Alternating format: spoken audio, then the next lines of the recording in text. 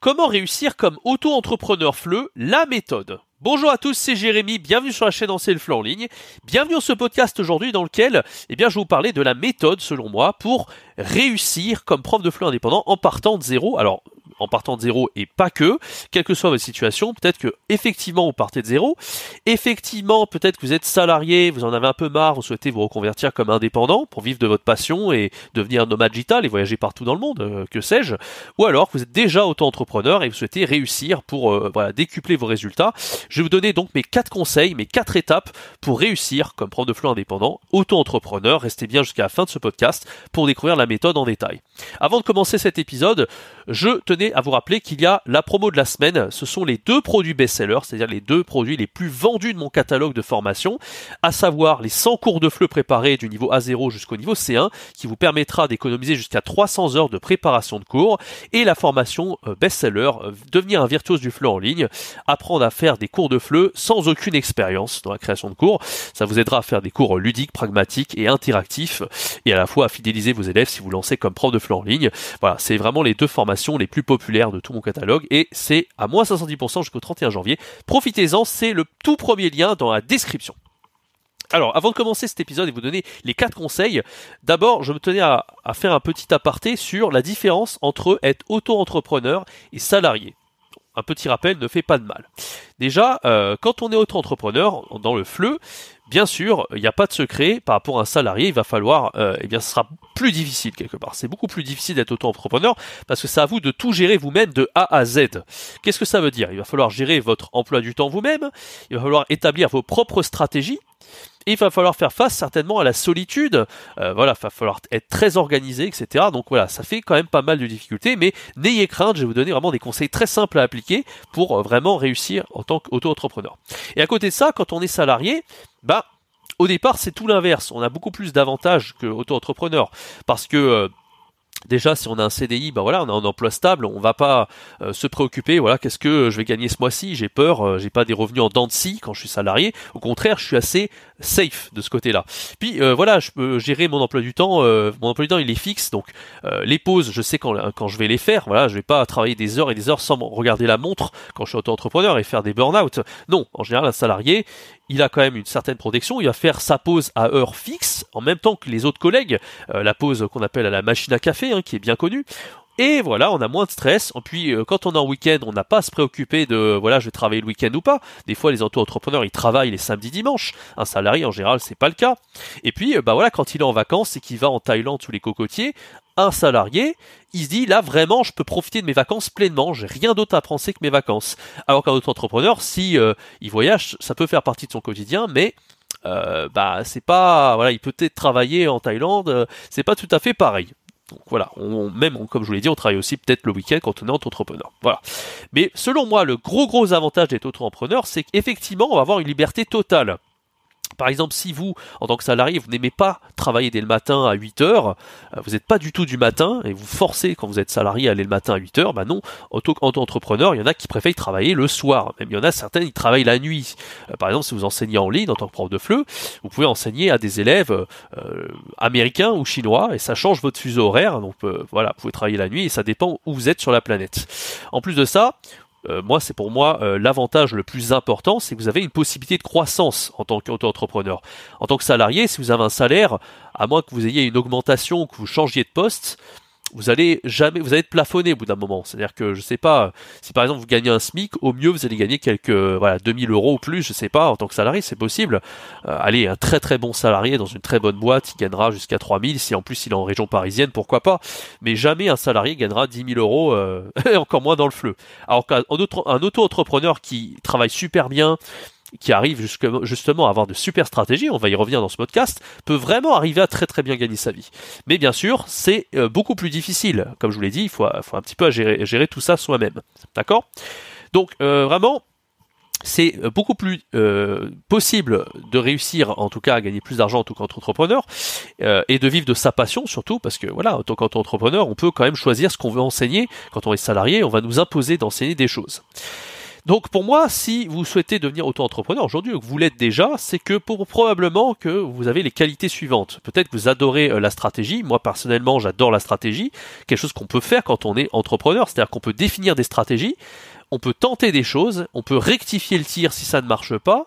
Et voilà, c'est un peu comme un jeu en fait des entrepreneurs quand on a son entreprise. Alors que quand on est salarié, jamais on va se dire euh, allez là je vais tenter une stratégie, etc. En, fait, on s'en fout, tout le monde est à égalité. C'est un peu la routine quand on est salarié, ok? Alors que auto-entrepreneur, vous pouvez choisir de euh, voilà, de promouvoir certains types de cours, de fixer vos prix, de changer les prix, euh, de voilà de peut-être de scaler un peu plus tard, de proposer d'autres types de produits à vendre, encore plus chers, etc. Euh, donc il y a vraiment de la stratégie, et ça c'est intéressant. Donc si vous aimez la stratégie, comme moi, ça peut certainement vous plaire. Deuxième point, euh, si vous êtes créatif et passionné, ça va vous plaire aussi euh, en tant qu'auto-entrepreneur. Vous avez plus de liberté d'action. Et le dernier point, c'est si vous êtes ambitieux et autonome. Comme on l'a dit, c'est à, vous de tout gérer vous-même. Donc il faut être absolument autonome quand on est auto-entrepreneur. Et euh, bah voilà si vous êtes ambitieux votre objectif c'est de grossir quand vous avez votre entreprise. Alors quand vous êtes salarié en général votre objectif à moins d'avoir une augmentation c'est pas forcément de grossir. Voilà ceci étant c'était une grosse parenthèse. Je vais passer maintenant au conseil que je vous donne pour réussir auto en, tant que auto-entrepreneur euh, voilà. Donc le premier conseil c'est euh, vraiment un conseil important. Quand vous commencez ne vous mettez pas la pression, c'est-à-dire n'essayez pas de viser la performance tout de suite en termes de chiffre d'affaires. En général, quand on commence, on se dit absolument, voilà, ce mois-ci, euh, c'est mon premier mois, à tout prix que je fasse 2000 euros le premier mois de chiffre d'affaires. Eh ben, Vraiment, euh, n'ayez pas cette pensée-là. Si vous dites déjà, je veux gagner, ou même peut-être que vous avez un job salarié euh, qui était au SMIC, je sais pas, ou même à, 1500 euros. Mettons, vous étiez CDI en prof de fleu, 1500 euros, et puis bam, je deviens auto-entrepreneur, je veux absolument gagner 1500, voire plus que 1500 dès le premier mois. C'est très peu probable. Je dis pas que c'est pas possible, mais c'est très peu probable. En général, pour avoir des résultats similaires au salariat, en tant qu'auto-entrepreneur, il faudra déjà plusieurs mois je dirais un minimum de 3 mois à 6 mois pour commencer à gagner quelques milliers d'euros. Donc ne vous découragez pas si au début vous gagnez quelques centaines d'euros, pas grand chose, c'est normal, il faut une période de transition. Donc l'objectif au début, c'est d'avoir une stratégie vraiment et de viser le long terme, c'est-à-dire de vraiment d'y aller étape par étape, ne pas essayer de griller les étapes, à essayer de, penser qu'au chiffre d'affaires. Il y a plein de paramètres qui rentrent en ligne de compte. Pour moi, il y a plusieurs étapes. Déjà, la première étape, ça va être de trouver vos élèves. Ensuite, peut-être de créer votre site, de fixer votre prix. Peut-être qu'au début, vous allez être pas trop, cher pour avoir vos premiers clients à 15 euros l'heure, par exemple. Et puis, euh, ensuite, si vous voulez augmenter votre tarif horaire, il va falloir augmenter vos compétences de pédagogue. Donc, euh, voilà, il y a ma formation, notamment euh, un, devenir un virtuose du en ligne, là, qui a à moins 70% jusqu'au 31 janvier, qui peut justement vous aider à augmenter vos compétences. Si aujourd'hui, vous êtes un petit peu toujours à 15 euros, 20 euros l'heure, et vous souhaitez passer à 30, moi, j'étais à 32 euros l'heure euh, dès mon premier mois d'enseignement, mais c'est très rare. En général, quand on débute comme prof de fleu, on va pas être à 35 euros l'heure euh, dès qu'on commence. On va plutôt être dans les 15 euros l'heure. Donc, si vous souhaitez augmenter votre tarif horaire, je peux que vous conseiller cette formation avec les 100 cours de fleu préparés qui sont à moins 70% jusqu'au 31. Voilà, donc ça c'est un petit peu euh, mon premier conseil, c'est d'y aller vraiment étape par étape, de pas griller les étapes et de pas se mettre une pression de chiffre d'affaires dès qu'on commence. Le deuxième conseil que j'ai à vous donner, qui est vraiment vraiment euh, bah, qui paraît évident mais qui est quand même le plus important de tous certainement, c'est d'avoir une hygiène de vie irréprochable. Quand on est auto-entrepreneur, on n'est pas salarié, donc personne va vous prendre par la main encore une fois, personne va vous dire euh, voilà, euh, prends soin de toi, euh, mange à telle heure, couche-toi à heure fixe, vois des gens, etc. Vous n'avez pas tout ça. Quand vous êtes entrepreneur, vous n'avez pas le package que le salarié a quand il commence, c'est-à-dire les collègues, le cadre de travail, l'emploi du temps, etc. c'est-à-dire qu'il faut être vraiment beaucoup plus discipliné quand vous êtes auto-entrepreneur. Donc vraiment, faites du sport, ça c'est hyper important. Moi j'ai tout fait. Hein, il y a des voilà, pendant deux ans j'ai fait du tapis de yoga, surtout avec les confinements, etc. Ça m'a vraiment aidé à tenir pendant tous ces confinements où j'enseignais depuis chez moi et je pouvais pas sortir. Donc vraiment, je faisais du sport tous les jours sans exception. Je ratais pas un seul jour. Vraiment, faut être hyper discipliné. Donc ça, c'est vraiment euh, le premier point. Donc faites du sport. Alors vous n'êtes pas obligé aujourd'hui de faire euh, du tapis de sport. Moi, j'ai fait notamment aussi euh, de la piscine pendant au moins six mois, un an. Euh, j'ai fait de la salle aussi, j'ai fait beaucoup de gym euh, depuis euh, le Covid, depuis 2020. Et maintenant, je me mets plutôt à courir dehors. Voilà. Bon, vraiment, c'est ce qui vous vraiment choisissez ce qui vous correspond hein, en fonction de votre budget aussi. Si vous voulez investir dans une salle de sport ou pas, c'est possible. Hein. mais faites du sport tous les jours, très important.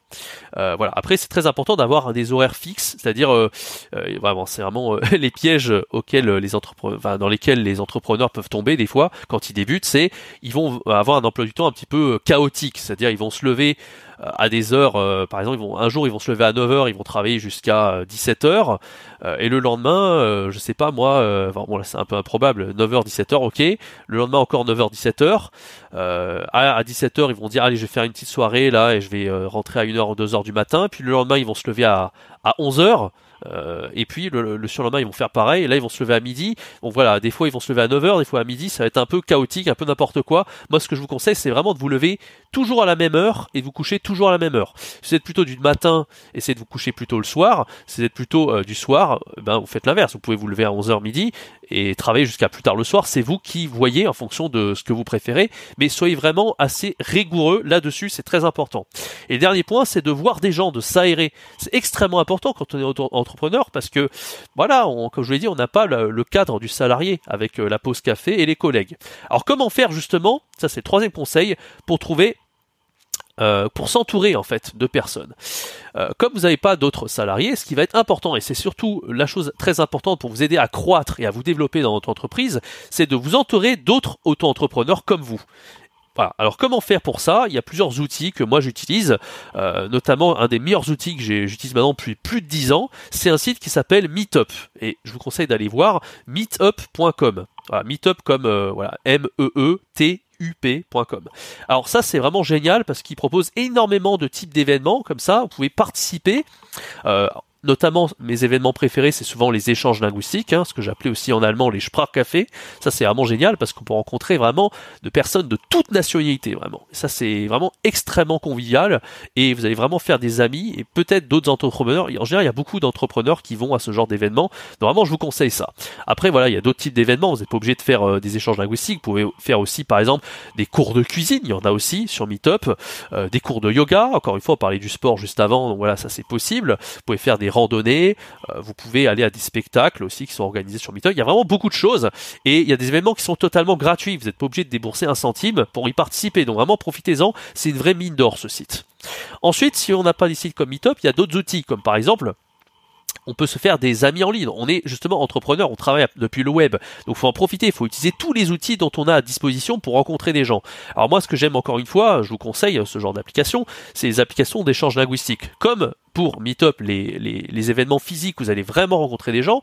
Là, vous pouvez aussi le faire s'il n'y a pas la possibilité, par exemple, vous n'avez pas euh, un événement euh, vraiment à côté de chez vous, peut-être que vous, vous, pouvez le faire à partir d'applications. Alors pour ça, on a des applications comme Tandem, euh, comme HelloTalk, par exemple, ou iTalki. J'en ai énormément parlé sur la chaîne, je pense que vous connaissez. Il y a un événement, il y a une communauté sur iTalki aussi, où vous pouvez rencontrer des gens. Il y a les groupes Facebook, et vous avez aussi Instagram qui est vraiment pas mal pour rencontrer d'autres gens. Et donc l'intérêt, c'est pas de juste faire un catalogue de, personnes comme ça euh, et collectionner euh, les avatars euh, virtuels. C'est pas ça l'idée. L'idée, c'est vraiment d'avoir des gens avec qui vous entendez et les rencontrer dans la vraie vie à partir de ces outils-là. Et justement, des outils comme Tandem vous permettent de voir des gens à proximité et de les rencontrer dans la vraie vie. Ça, c'est vraiment pas mal. À part ça, je vous recommande aussi, si vous êtes auto-entrepreneur, et surtout si vous travaillez depuis votre ordinateur, de faire des voyages de temps en temps. Alors c'est pas mal en plus, parce qu'il y a des voyages qui peuvent être vraiment pas chers, notamment si vous utilisez par exemple des outils comme Google Flights, ça vous permet donc de voir des billets d'avion euh, pour pas cher. Moi, il n'y a pas si longtemps, je suis allé à Lisbonne, euh, au Portugal, j'ai dû débourser un truc comme... Euh, de ma ville, là, en France, ça a dû faire un truc comme 50 euh, euros l'aller, 50 le retour, allez, 100 euros aller-retour, le billet d'avion, c'est vraiment pas cher. Donc il y a vraiment des destinations avec Google Flats qui sont pas chères, je vous commande, je recommande vraiment de faire ça. Pour le logement, vous avez Airbnb, vous avez peut-être euh, euh, des trucs comme euh, comment on appelle ça déjà euh, Booking.com par exemple, Booking.com vous fait la même chose avec Google Flight, vous les triez par euh, le, du moins cher en fait. Prenez des compagnies low cost pour billets d'avion et pareil pour Booking.com. Donc c'est vraiment possibilité de voyager pour pas cher du tout. Hein. Vous n'êtes pas obligé de rester des mois, hein. mais en termes de budget, vraiment une semaine déjà c'est ça vous sort de chez vous et c'est la même chose. Vous pouvez travailler et donner vos cours de n'importe où. Ça c'est quand même très pratique. Euh, voilà. Sinon, euh, voilà, au niveau des voyages, ce que je vous recommande, c'est d'aller dans des espaces de coworking, euh, même dans votre ville. Hein, si vous voyagez pas, si vous êtes auto-entrepreneur, allez vraiment travailler dans des espaces pour les indépendants, les coworking. Alors ça dépend des villes. Il y a des coworking qui sont géniaux en fonction de la ville où vous trouvez. Moi, j'ai vu par exemple au Portugal, il était génial le coworking où j'étais. je sais qu'à Barcelone, il y a des super coworking. Si vous êtes à Paris, en France, c'est super aussi. dans ma ville, c'est un peu moins bien, donc moi, je vais pas forcément coworking là où je suis, mais je sais que ça dépend des endroits où vous êtes sur la planète, c'est vraiment pas mal. Il y a une application mobile qui s'appelle Croissant pour trouver votre coworking. Elle est vraiment, euh, voilà, c'est vraiment super. Euh, sinon, ce que je vous recommande encore mieux, euh, en fonction où vous vous trouvez sur la planète, ce sont les co-living qu'on appelle. Les co-living, c'est là où je suis allé à Lisbonne. C'est un endroit où vous avez à la fois un coworking et encore mieux, vous avez donc un appartement qui est partagé avec d'autres autres auto-entrepreneurs comme vous qui font la même chose, c'est-à-dire qui travaillent sur le web. Donc vous pouvez échanger avec eux, vous entraider et euh, vous n'êtes pas tout seul en fait dans votre euh, délire. Vous êtes vraiment avec d'autres personnes qui vous tirent vers le haut et c'est vraiment super super inspirant. Ça voilà, c'était mon troisième conseil. Le quatrième conseil et dernier conseil, c'est de apprécier ses réussites et vraiment capitaliser sur ses réussites quand on est indépendant euh, il y a beaucoup de choses que vous allez avoir, des petits succès comme ça, qui vont vous aider Hein, c'est un peu comme si vous investissiez en bourse, vous recevez des dividendes, vous pouvez réinvestir ces dividendes pour avoir encore plus d'avantages. Et bien là, c'est pareil, quand vous êtes auto-entrepreneur, vous allez avoir quelques petits avantages par rapport à un salarié. Soit vous dites, ok, je les prends, mais j'en fais rien, ben c'est dommage, vous allez avoir des avantages, mais vous n'allez pas les investir. Et ces avantages-là, vous allez pouvoir les investir. Je m'explique. Par exemple, quand vous êtes prof de fleurs en salarié, dans une école de FLE, vous allez des fois avoir des, gentils commentaires euh, d'étudiants ou de l'école qui vont dire euh, c'est bien, vous êtes un super prof, mais c'est tout en fait. Vous allez juste avoir des paroles dans le vent comme ça ou des cœurs qu'on va dessiner au tableau c'est pas, c'est de la preuve sociale, mais ça reste très limité. Alors que quand vous êtes auto-entrepreneur, vous allez avoir des commentaires clients d'élèves qui vont vous dire, vous avez fait un super cours, vous allez pouvoir vous en servir. Ça peut être des témoignages vidéo, des, témoignages par écrit, peu importe. Et ça, ça va vous aider à avoir encore plus de clients, avoir plus de preuves sociales, augmenter vos prix. Vous voyez, donc ça, c'est vraiment pas mal de capitaliser comme ça sur ces réussites pour avoir encore plus d'avantages par la suite. Et bien sûr, si par exemple vous avez des réussites plus tard, euh, même des petites réussites, hein, ça peut pas, vous demande pas de, faire 10 000 euros de chiffre d'affaires en un mois, mais si vous arrivez à faire un, chiffre d'affaires un peu meilleur que le mois dernier, par exemple, je sais pas, il y a un mois vous faites 1500 euros de chiffre d'affaires, le mois d'après vous faites 2000, ben là vous pouvez vous dire, alléluia, j'ai fait 500 euros de plus de chiffre d'affaires, et là vous pouvez vous accorder une petite récompense, vraiment célébrer vos récompenses. Ça peut être encore une fois un petit voyage euh, dans une destination que vous connaissez pas, voilà, ce genre de choses. Donc c'est vraiment les conseils que j'ai à vous donner. Je récapitule les quatre conseils. Le premier, c'est de ne pas vouloir aller trop vite, d'y aller étape par étape, ne pas chercher à aller plus vite que la musique. Le deuxième, avoir une hygiène de vie irréprochable, très important. Troisième, s'entourer d'autres entrepreneurs comme vous et voyager comme nomade digital. Et le quatrième, apprécier vos, vraiment vos, récompenses, vos réussites et capitaliser sur toutes ces réussites. Voilà, j'espère que ces euh, euh, conseils vous ont plu, en tout cas pour réussir comme auto-entrepreneur. Encore une fois, je vous rappelle que la promo de la semaine se termine le 31 janvier. Il s'agit des deux produits sans cours de fleu préparé du niveau A0 plus débutant jusqu'au niveau C1. Vraiment, euh, c'est un produit best-seller qui fera gagner énormément de temps de préparation, jusqu'à 300 heures. Et vous avez donc la formation Devenir un virtuose du fleu en ligne pour préparer des cours ludiques pragmatiques et euh, qui vont vous aider à fidéliser tous vos élèves en ligne. Voilà, c'est tout premier dans la description. N'hésitez pas. Quant à moi, je vous donne rendez-vous très bientôt pour un prochain podcast sur la chaîne YouTube et sur les plateformes de podcast Spotify et Apple euh, Podcast. C'était Jérémy. Ciao, bye bye.